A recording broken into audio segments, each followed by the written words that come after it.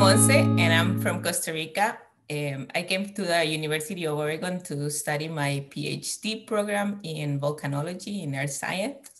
And I'm also a single parent. And so when the pandemic hit, I was super worried because my daughter usually goes the whole summer uh, to Costa Rica.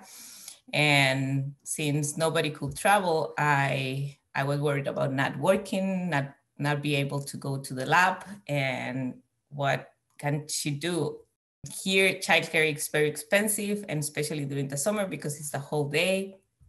And thanks to the hardship fund from the um, our GTFF union, I was able to get some money to help me pay out for the camps that she attended during the summer, and I was able to go to the lab and work on my project uh, towards my PhD.